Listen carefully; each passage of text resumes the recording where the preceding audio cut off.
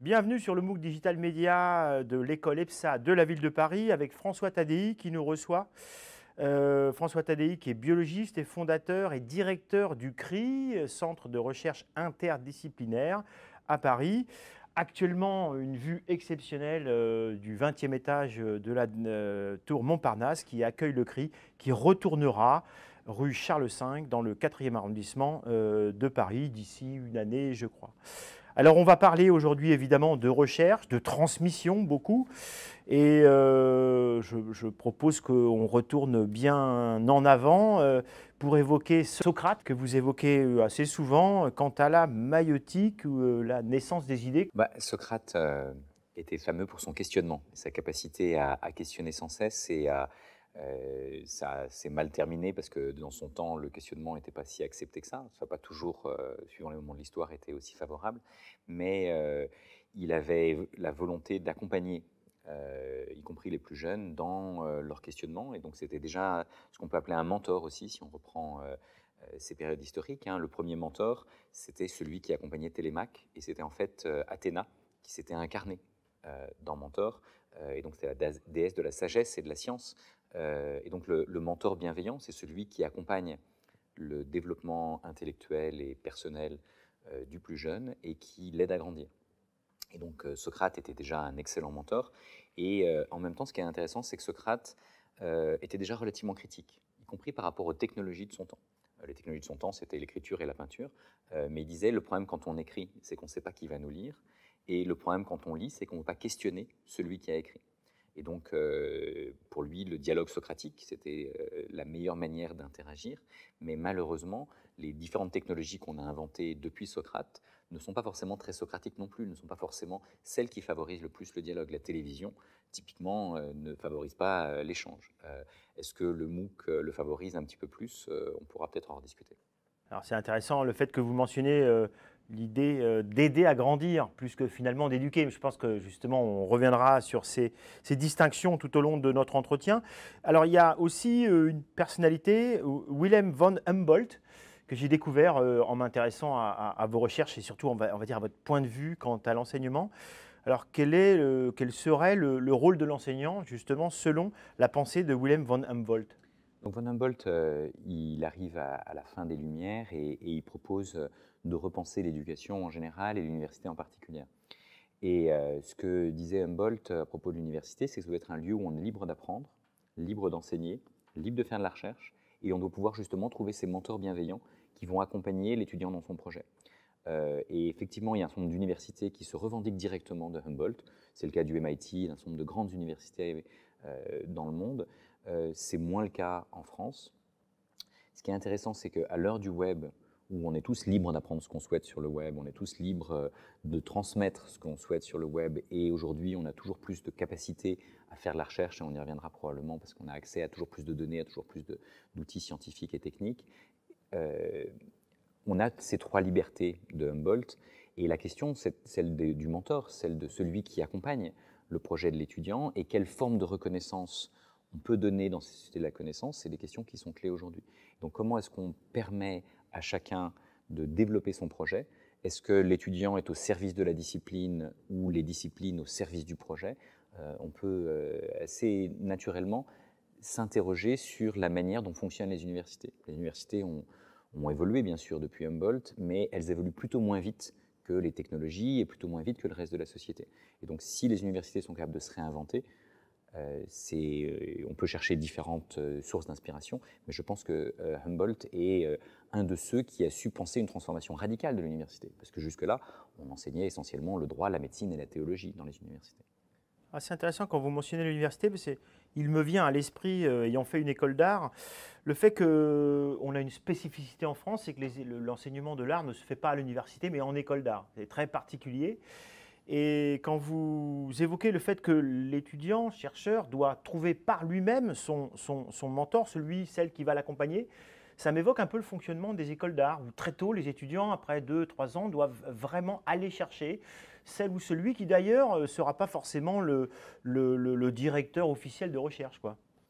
Oui, je pense qu'il y a beaucoup de métiers en fait, euh, les métiers artistiques, mais aussi euh, si par exemple j'ai mené une, une enquête pour la ministre Najat Vallaud-Belkacem sur ce que c'est qu'une société apprenante. Et donc j'ai interrogé des centaines de personnes et pour essayer de comprendre comment est-ce qu'on apprend aujourd'hui et quelles sont les différentes manières d'apprendre aujourd'hui. Et j'ai pu rencontrer, par exemple, euh, plein de gens, plein d'acteurs du monde professionnel. Et je leur demandais quels sont les métiers les plus innovants en matière de mentorat, en matière de transmission.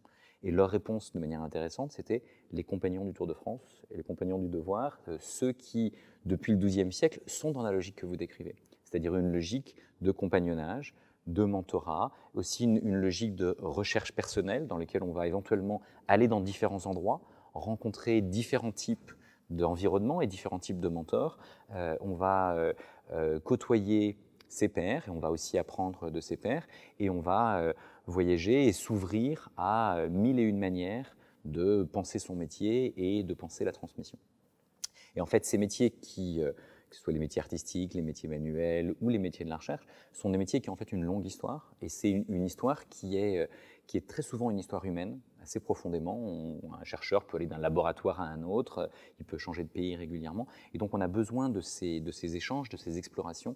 Et aujourd'hui, on, nous dit tous que les voyages forment la jeunesse, mais on voit bien que Erasmus et bien d'autres manières permettent à chacun euh, de vivre ce genre d'expérience et de, passer d'un environnement à un autre pour euh, euh, en partie se chercher. Hein. il y a un côté transformation personnelle dans l'apprentissage euh, et je pense que c'est un, des rôles clés euh, que jouent les universités, par exemple. Et si Paris est la ville la plus attractive au monde, ou presque pour les étudiants du monde, c'est bien parce qu'il se passe quelque chose à Paris qui va au-delà de ce qui se passe uniquement dans un amphithéâtre. D'ailleurs, il y a même une alternative aux écoles d'art, euh, qui est le Frénois, où ça ne dure que deux ans, avec des gens qui ont déjà atteint une certaine maturité, où il y a une sorte de speed dating en début du cursus, où on va choisir son mentor de l'année.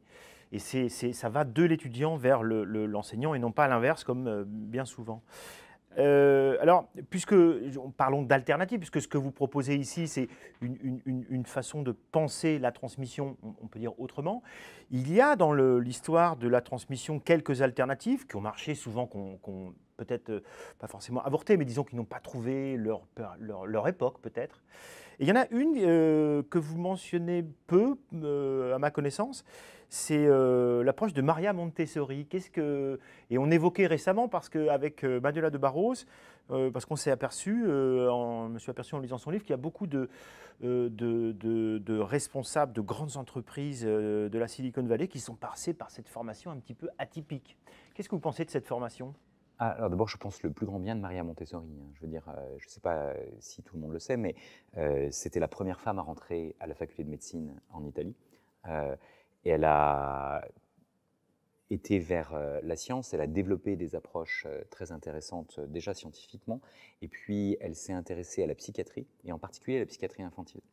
Et elle, elle, travaillait dans un, dans un asile psychiatrique où les enfants étaient mêlés aux adultes, avec tout un tas de, difficultés que vous pouvez imaginer, et elle a décidé de s'occuper spécifiquement de ces enfants, et elle a imaginé pour eux de nouvelles manières d'apprendre.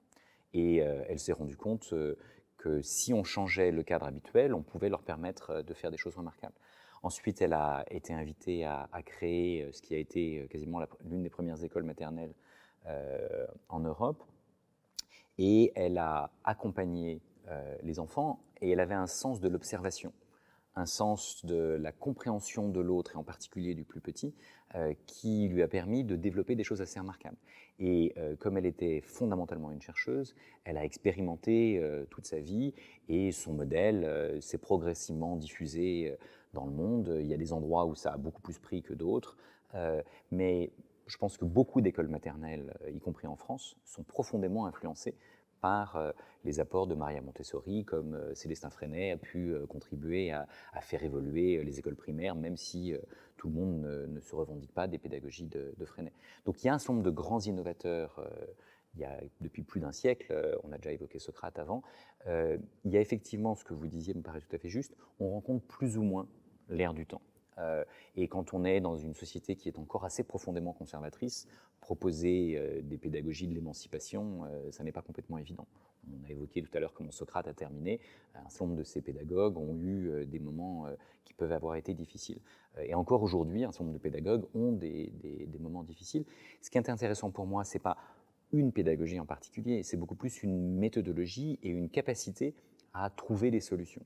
Et d'ailleurs, les pays qui savent faire réussir le mieux les enfants sont typiquement des pays dans lesquels on ne cherche pas à appliquer une seule pédagogie, mais les enseignants sont en position de chercheurs et sont en position de recherche de solutions adaptées à chaque enfant et aux besoins de leur environnement et euh, aux spécificités locales dans lesquelles euh, ils sont insérés. Ces pays, euh, sans les nommer, vous pensez peut-être aussi à l'Amérique du Nord, États-Unis, Canada? On peut penser euh, Scandinavie, on peut penser Asie confucéenne, on peut penser Australie, on peut penser euh, euh, toujours plus de lieux, y compris en France. mais en France, une bonne partie de ce qu'on voit dans ces pays existe, mais généralement n'est pas passé à l'échelle. C'est-à-dire que les enseignants qui progressent dans ces pays sont dans une démarche personnelle, mais ils sont fondamentalement accompagnés. Ils ont été formés par la recherche. Ils ont été formés à connaître les résultats de la recherche et les méthodologies de la recherche pour pouvoir se les approprier et se les adapter. Euh, un pays comme Singapour, par exemple, deux tiers des établissements scolaires ont un groupe de recherche interne. Et donc, les enseignants se retrouvent, discutent de ce qu'ils peuvent faire pour faire progresser les élèves, pour adapter euh, euh, leur pédagogie au numérique ou aux spécificités, aux difficultés que tel ou tel élève peut avoir.